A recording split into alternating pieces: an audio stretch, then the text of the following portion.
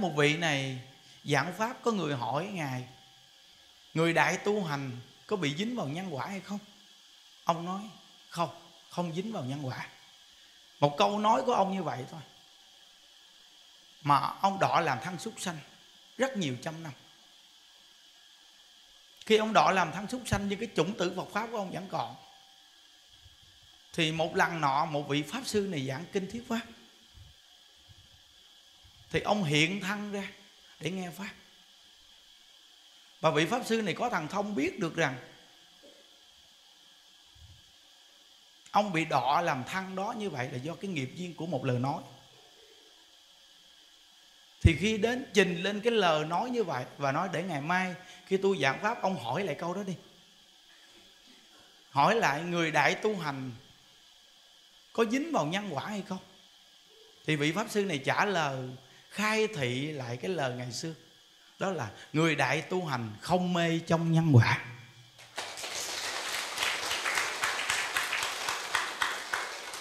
Không mê trong nhân quả chứ không phải là không dính nhân quả. Đã gieo nhân thì là gặt quả, nhưng người tu hành không mê trong nhân quả đó là khi mình gặp bệnh, mình gặp bất cứ sự cố gì, mình gặp trở ngại gì, mình gặp người chăm thọt, mình gặp người hại mình, dù mình làm thiện, làm tốt, nhưng người ta hại mình, người ta muốn giết mình luôn. Nhưng mà mình không bị mê trong nhân quả, là vì mình biết mình gieo nhân, mình gặt quả, nên mình không mê. Chứ không phải là tu giỏi mà không bị dính nhân quả. Thí dụ như giờ những đức hướng dẫn quý vị tu, những đức làm bao nhiêu việc như vậy, mà những đức dẫn dính dịch bệnh, vì sao? Vì những đức có tạo cái nghiệp này cái nhân này những đức đã tạo nên bây giờ cái nghiệp này đến với những đức nên những đức vui chả, thật lòng vui chả và niệm phật cầu sanh cực lạc. Thọ mạng chưa hết thì tiêu nghiệp hết bệnh, rõ ràng luôn. Đây là xác thực 100% chính những đức áp dụng này. Có nghĩa là mình phải vui trả cái quả báo mà mình chịu. Và mình thành tâm niệm Phật để cầu sanh cực lạc. Thọ mạng còn tiêu nghiệp hết bệnh. Thọ mạng hết thì Phật ấy đã tiếp dẫn giảng sanh. Đây là 100% nên tu giỏi, tu dở gì, bạn đã gieo nhân đó thì bạn phải chịu quả báo đó. Cả đức phật đã thành phật rồi. Vậy mà đức phật còn phải trả quả báo là đức phật ăn lúa ngựa. Phải trả quả báo là người ta giả có thai, đổ thừa cho ông cù đàm là đức phật. Gây cái bầu thai này. Có nghĩa là đức phật còn bị du quan giá họa rất nhiều việc. Và đức phật còn bị đề bà đạt đa lăn đá để hại đức phật. Nhưng mà chúng vào chân chảy máu quý vị thấy không? Ngài đã thành phật rồi, là một bậc thầy của chờ người, một bậc đại giác ngộ. Vậy mà đức phật cũng phải chịu trả quả báo. Vì sao? Vì đại tu hành, ngài không mê trong nhân quả. Quả báo đến lúc đến rồi thì vui trả từ nơi đó mà tôn giả một kiền liên cũng là bậc đại tu hành. Ngài có đầy đủ thần thông, làm sao ngoại đạo giết được ngài? Vậy mà khi ngoại đạo đến giết ngài ngài quán cơ, ngài biết được trong những đời quá khứ, ngài đã từng tạo cái nghiệp duyên hại người, giết người như vậy. Bây giờ đến lúc người ta đến đòi nợ ngài, thì ngài ngồi im đó để cho người ta giết. Phân thay sẽ thịt kệ người ta. Rồi ngài nhập niết bàn. Đó là đại tu hành không mê trong nhân quả. Vui trả nợ. Còn mình không có khả năng mà bị người ta giết mình nhập niết bàn, mà mình có thể bị người ta hại, người ta giết. Nhưng mà mình niệm phật để cầu nguyện phật, tiếp dẫn cái linh thức mình về tây phương cực lạc thì được.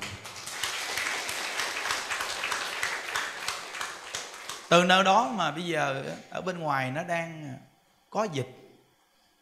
Và cái cộng nghiệp của ở cái cõi đời này thì nó bao la, nó cộng nghiệp. Và thời tiết bây giờ người cảm xúc bệnh ho hen vẫn có, hiểu không? Vậy thì sao?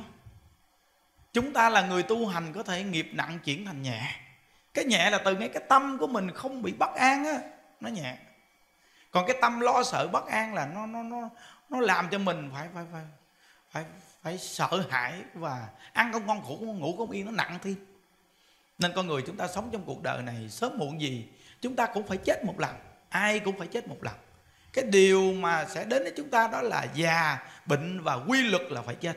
Không ai mà tránh khỏi cái chết. Tại sao chúng ta không sống những thời gian mà chúng ta được ở bên nhau như vậy để giúp nhau tu hành, để hướng nhau thiện tâm, để làm những việc ý nghĩa trong cuộc đời.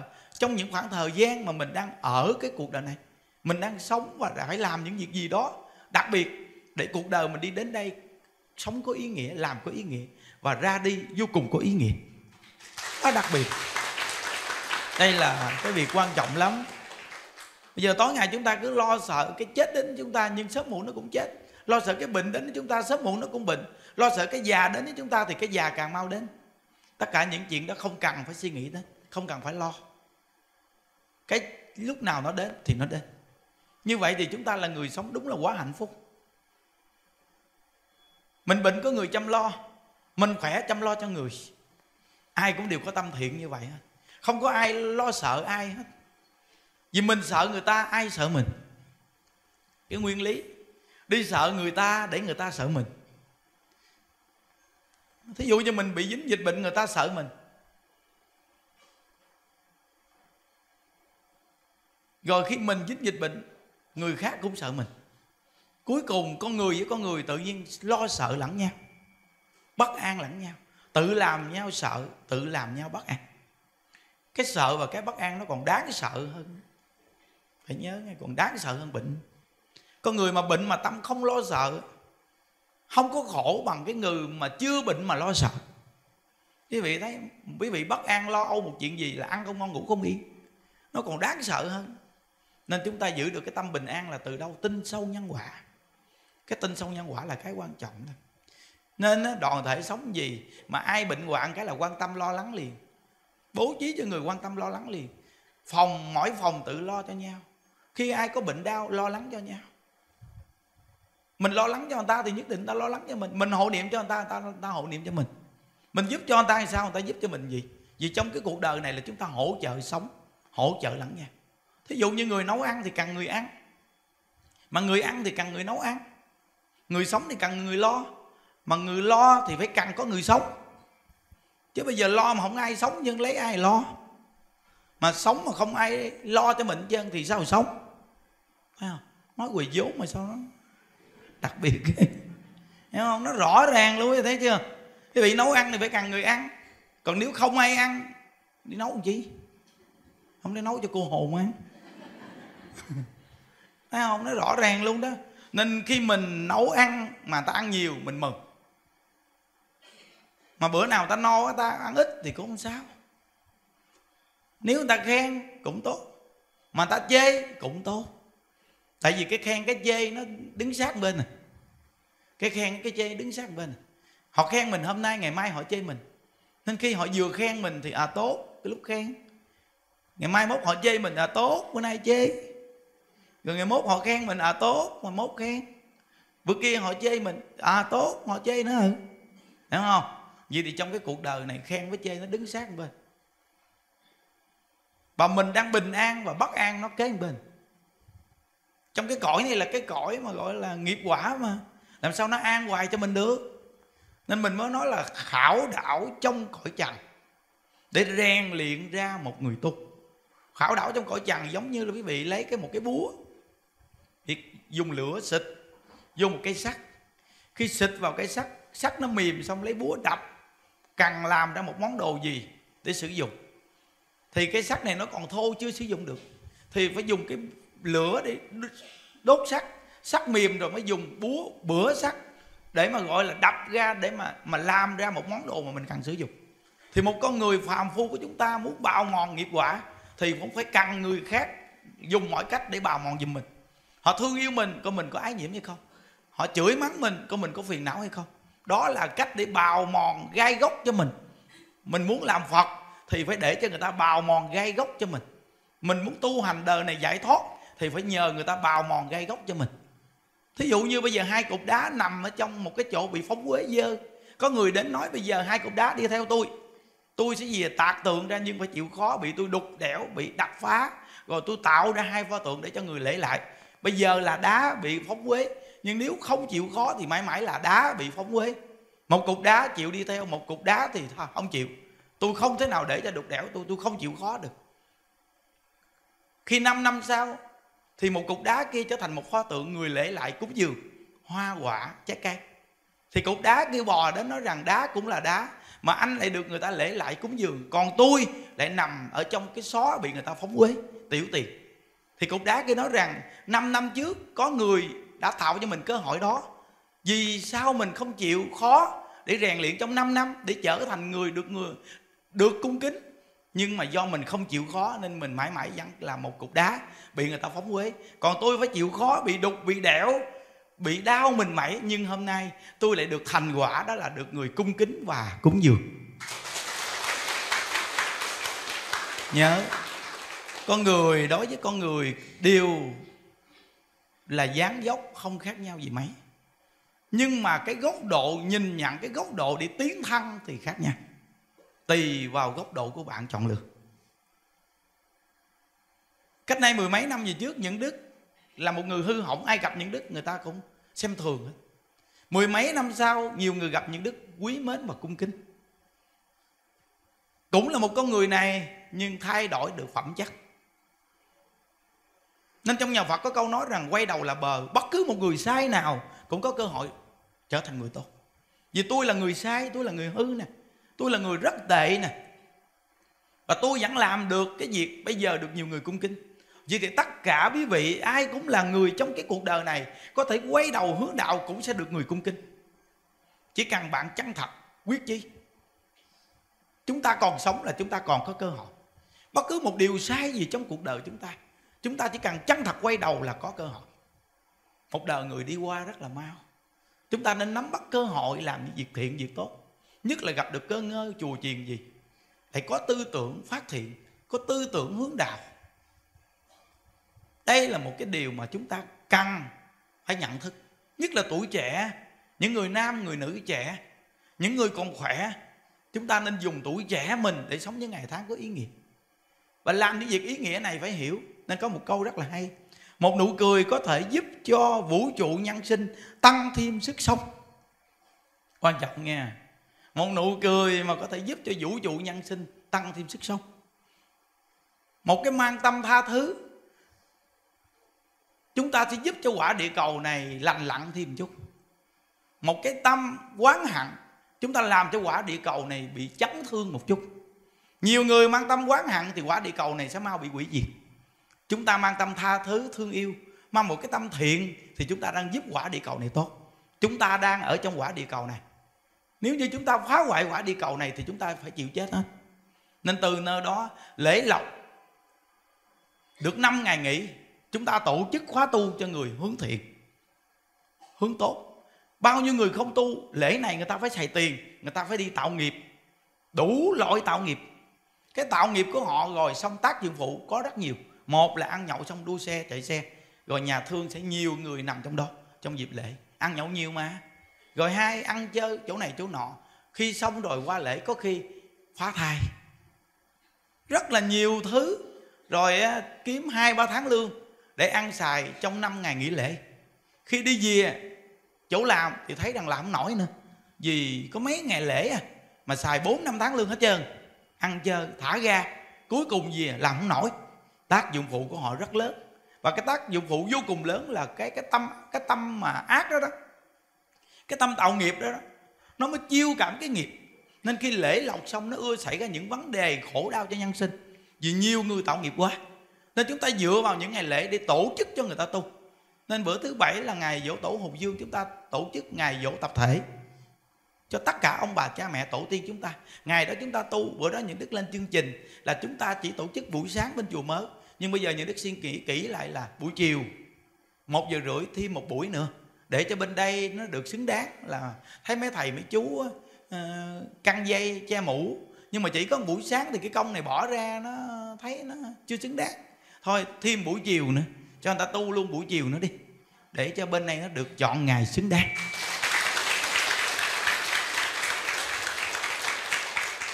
Nó khỏi đi qua đi lại chi cho người ta ở bên này, người ta tu cho ổn định.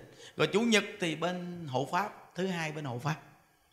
Nó phật tử gì, điểm chùa nào của mình cũng ở được và tu được. Nhưng đức nói năm ngày vì ở đây không tốn tiền, bởi vì còn giữ được tâm an lạc. Đi về nhà thì mặc tròn do còn người đi chơi thì tốn tiền mệt mỏi. Về nhà thì cái mặt héo hon hô.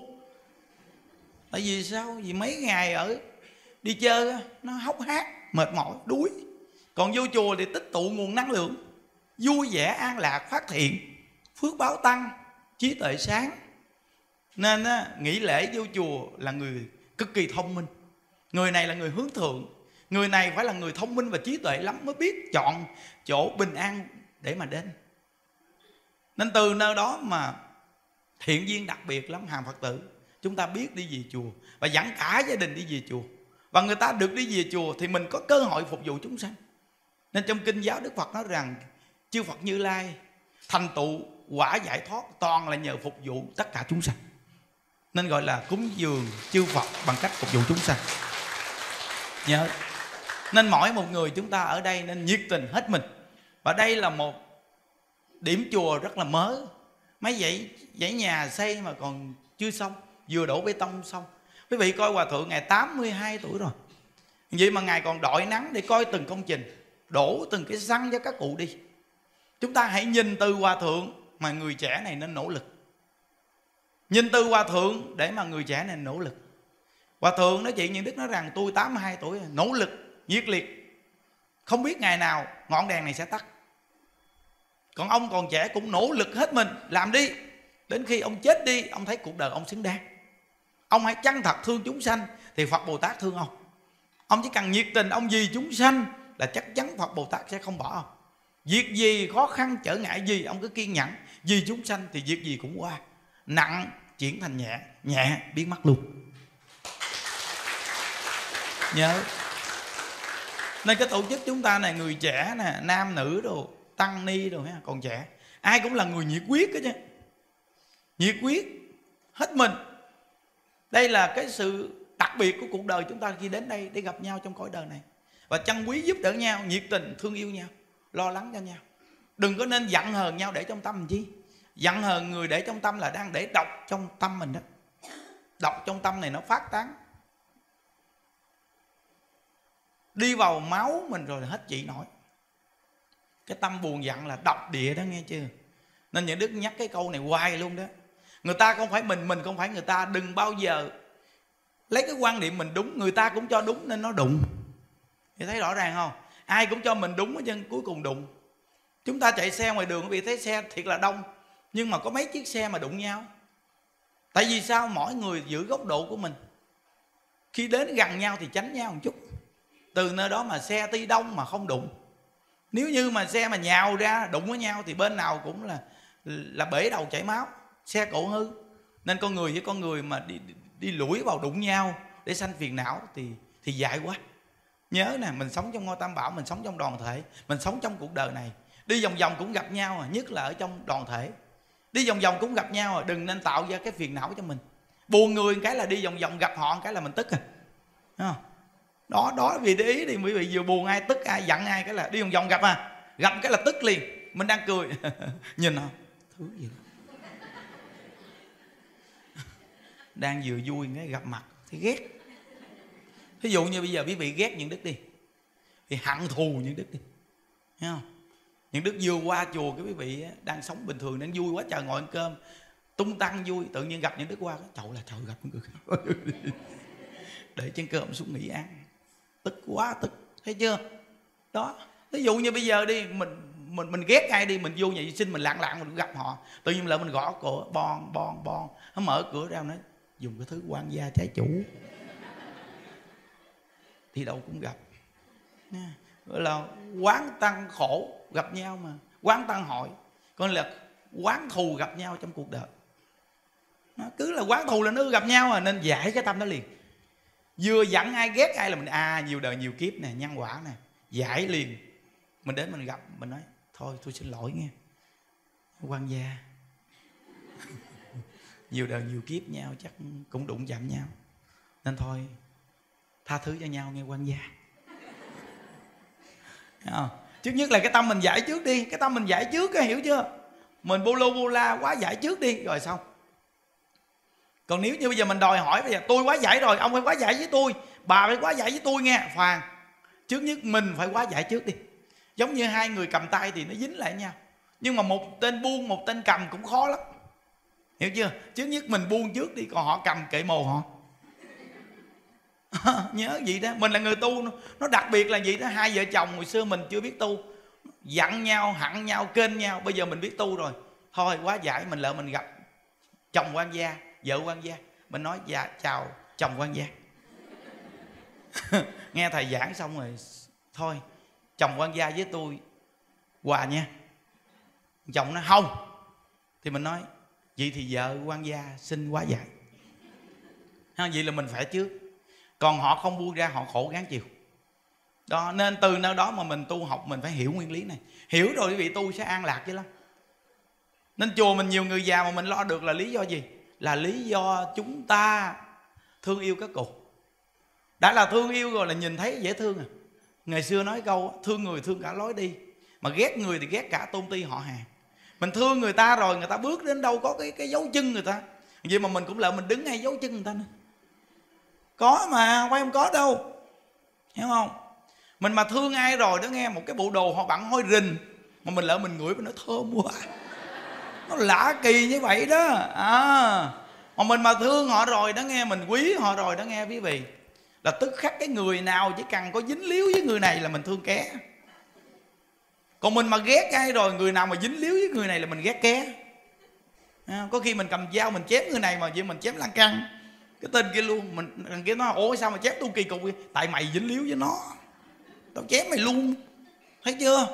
Nên từ nơi đó, cái cái nghiệp duyên nó nó nó nó bị dính dáng đó quý vị. Như cha mẹ mình mà bị nhiều người ghét quá, mình mà nói con của họ là họ ghét mình luôn.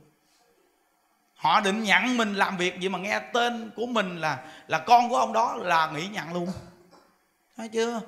Nên từ nơi đó mà cái nghiệp duyên nó câu thúc đó, đáng sợ chưa nên mình ở trong chùa, trong đoàn thể, ở hay ở đâu, mà mình sống mà được nhiều người thương yêu thì gia đạo của mình cũng được người ta thương mình ở đây mình sống đàng hoàng được. Thầy quý thương bạn bè cũng quý thương. Thì gia đình dòng họ mình đến sẽ dễ được độ. Còn mình ở đây mà ai cũng ghét mình dòng họ mình mà đến rồi người ta nói trời ơi trời. Có một đứa mà chịu còn không nổi nữa. Vì mà nó kéo thêm ba bốn đứa nó chắc mà chết thôi thôi thôi, thôi tôi sợ quá trời sợ. Có một đứa này mà ngán dữ lắm nó quậy cả chùa này muốn banh chành. Nó mà nhà nó vô hai ba đứa nó thôi thôi chịu thua. Bó tay nên không có độ được cái gia đình là do gì? Duyên phước mình kém. Nên duyên phước là ở đâu là mình sống mà nhiều người thương mình á nhiều người quý mến mình á. Nên dòng họ của mình cũng được người ta quý mến thương yêu phải không? Những đức nói một trăm phần trăm với quý vị quý vị người, người ta mà thương quý vị mà thương đến mức cực điểm đi. Vị bước chân chỗ nào là người ta muốn bước ngay chỗ đó đó. Quý vị bận bộ đồ nào là người ta muốn bận bộ đồ nấy đó. Cho quý vị biết không phải giỡn đâu người ta quý vị đi cạo đầu họ cạo theo ờ, họ thương mình rồi là họ họ, họ theo à. Vì làm gì họ thích làm giống quý vị. Nên tại sao mà ngoài đời mà người nổi tiếng người ta mướn đi quảng cáo? Tại vì nó nổi tiếng là nhiều người quý quá thì nó nó nó mướn cái tên này lợ để bằng chiếc áo giùm để quảng cáo. Vừa bằng chiếc áo này vô là áo này nhiều người mua. Nó kỳ cục như vậy đó là duyên mà nó lan can nó bị rộng đấy vô cùng chưa? Nên mình sống sao cho người ta thương yêu mình là đặc biệt lắm. Mà làm sao cho người ta thương yêu mình? Thật lòng mình thật lòng thì tao ta thương yêu mình chứ làm sao? Mà thật lòng mà mình lại vui vẻ quan hỷ chứ không phải thật lòng mà thật lòng nghe. Tôi sống nhiệt tình lắm á. Nói chuyện giỡn với tôi. Nó thẳng lắm á. Thật lòng, thẳng lắm. Đó. kiểu đó, thật lòng kiểu đó cũng không ngon. Thật nhưng mà thiếu trí tuệ. Hiểu không? Có trí tuệ nó bỏ vào cái thật thì nó dịu. Ngày xưa những đứa cũng thật lắm mà, săn si lắm bây giờ mình cũng thật nữa mà mình lại dịu tâm. Nên nó phương tiện thiện xảo sống với mọi người. Nên nhiều người thương hơn ngày xưa. Ngày xưa cũng lo cho người ta mà nhiều người ghét hơn. Thấy chưa? Đó, nên thương và ghét nó trong một ý niệm mà. nên phật và ma trong một ý niệm mà thôi. Vừa phát tâm thiện là phật mà vừa phát tâm ma là ma liền. Nên nó lặt như bàn tay nó bị coi nè. Nên mỗi một con người mình sống làm sao đó, mà tự mình sẽ biết rằng mình đi đâu à. Đúng không? Chứ mình tu mình hỏi người ta, mình đi đâu? Mà người ta nói mình đi lại chỗ đó thì xạo. Chứ làm sao? Làm sao mà biết mình đi đến chỗ đó? Mình tự biết mình sẽ đi về đâu. Thí dụ như mỗi ngày bị săn hẳn một đống đã biết đi đâu rồi đó. Địa ngục, chứ đi đâu? Săn hẳn thì biết đi đâu rồi? Rồi thêm tham lam một đống, rồi biết đi thêm cửa thứ hai nữa. Ngạo quỷ. Hai cái đó mà dính rồi thì không biết tránh tà rồi. Ngu si một đống rồi súc sanh. Vậy thì cuối cùng mình tuy là tu nhưng cuối cùng mình đi đâu? Tam đồ ác đạo.